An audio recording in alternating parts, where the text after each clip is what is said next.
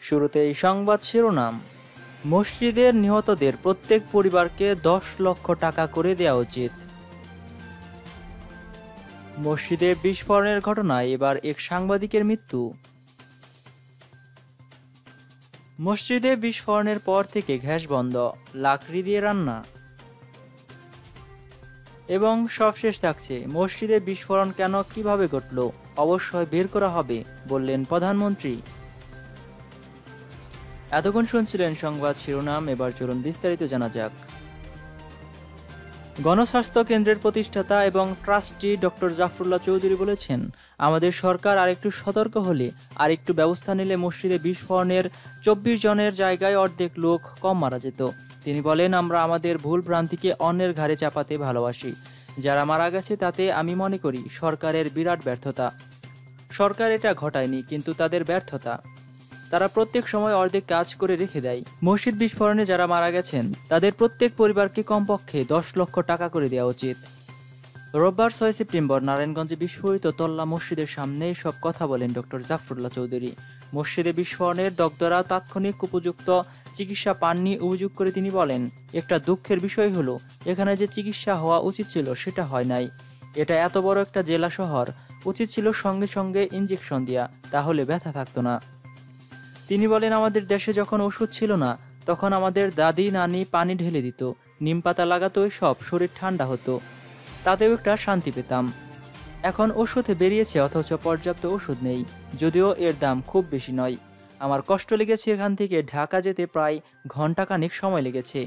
এই যে কষ্টটা অকল্পনীয়, আগুনে পোড়ার যে ব্যথাটা, আপনারা উপলব্ধি করতে পারবেন না। দোষীদের দ্রুত বিচার দাবি করে জাফরুল্লাহ চৌধুরী বলেন, তিতাসের গ্যাস সম্পর্কে খালি আলোচনা হবে, পরীক্ষা হবে। এসব আজগবি কথা না বলে যেভাবে মেজর সিনহার ঘটনায় সাত দিনের মধ্যে বিচার শুরু হয়েছে, এটারও সাত দিনের মধ্যেই বিচার হওয়া উচিত। রোগী চিকিৎসা না হওয়ার বিষয়ে স্বাস্থ্য বিভাগের দায় আছে বলেও মনে করেন ডক্টর জাফরুল্লাহ চৌধুরী।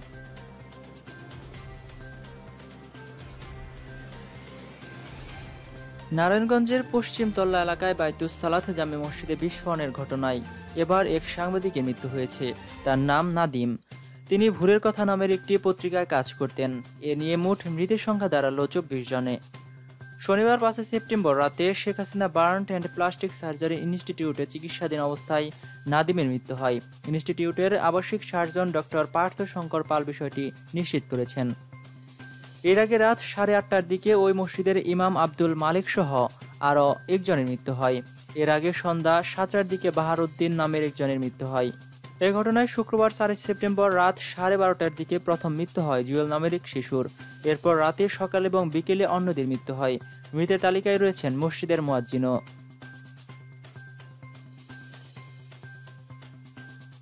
নারায়ণগঞ্জ সদর উপজেলার পশ্চিম তল্লা বাইতুস সালাত জামে মসজিদে বিস্ফোরণের পর তল্লা এলাকা সহ আশেপাশের বাসাবাড়িতে গ্যাস লাইন বিচ্ছিন্ন রয়েছে। এতে প্রায় পঞ্চাশ থেকে ষাট হাজার মানুষের রান্নাবান্না বন্ধ রয়েছে। এ নিয়ে চরম ভোগান্তিতে পড়েছেন স্থানীয়রা। রোববার ছয় সেপ্টেম্বর বিকেল চারটা পর্যন্ত গ্যাস লাইন চালু হয়নি। জানা যায়, মসজিদের বিস্ফোরণের পর গ্যাস সংযোগ বিচ্ছিন্ন করে দেয় Titas gas transmission and distribution company. তিন দিনেও গ্যাস সংযোগ দেওয়া হয়নি। বাসা বাড়িতে গ্যাস না থাকায় লাকড়ি দিয়ে রান্নাবান্না সারছেন এলাকাবাসী। এলাকাবাসী জানান, তল্লা এলাকাসহ আশপাশ মহল্লায় পঞ্চাশ থেকে ষাট হাজার মানুষের বসবাস। কোনো রকম মাইকিং পূর্ব ঘোষণা ছাড়াই তিন দিন ধরে গ্যাস সরবরাহ বন্ধ করে রেখেছেন তিতাস। এ অবস্থায় বাধ্য হয়ে লাকড়ি এবং খড়কুটু দিয়ে রান্নাবান্না সারছেন স্থানীয়রা। তল্লা এলাকার বাসিন্দা আসমা বেগম জানান, তিন দিন ধরে গ্যাস নেই, রান্না তো করতেই পারি না। লাকড়ি এবং খড়কুটা জোগাড় করে রান্না করছি। তবে গ্যাস আসবে কিনা তাও জানি না। গ্যাস না থাকায় চরম দুর্ভোগ পোহাতে হয় আমাদের। বাচ্চার জন্য দুধ গরম করতে পারছি না। রান্নার অভাবে খাওয়া দাওয়া প্রায় বন্ধ হইয়াছে তিতাস অফিস সূত্র জানায়, তদন্ত আলামত রক্ষার স্বার্থে মসজিদ এলাকায় দুটি গ্যাস বাল্ব বন্ধ রাখা হয়েছে। আমরা আজ লাইন খোলার চেষ্টা করছিলাম, কিন্তু তদন্ত সংশ্লিষ্টরা খুলতে দেয়নি।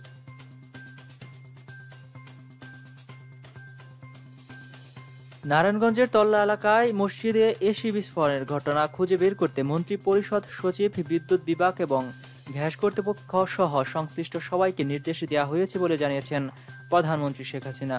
তিনি বলেন, আমি ক্যাবিনেট সচিব সহ সংশ্লিষ্টদের নির্দেশ দিয়েছি, এর কারণ খুঁজে বের করতে।